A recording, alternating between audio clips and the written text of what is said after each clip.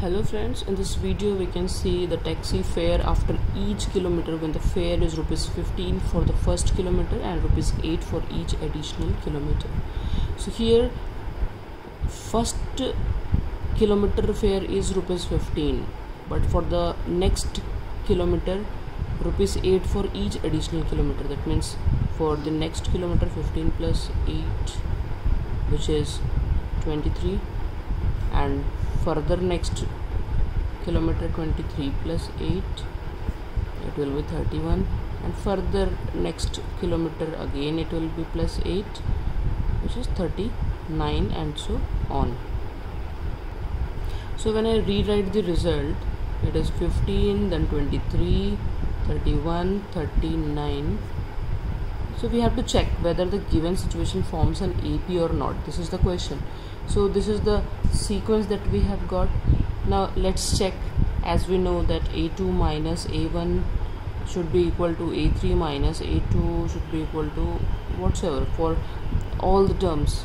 So that we have to check here. No need to find difference for all successive and the preceding term but few will suffice.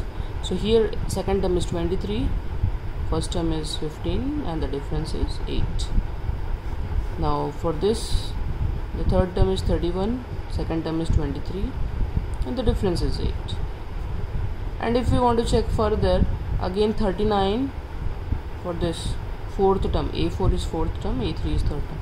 So 39 minus 31 again gives 8 hence it has a common difference. The obtained AP uh, or we can say the obtained sequence has a common difference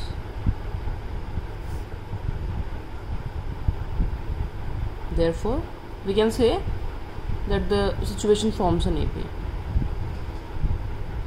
given situation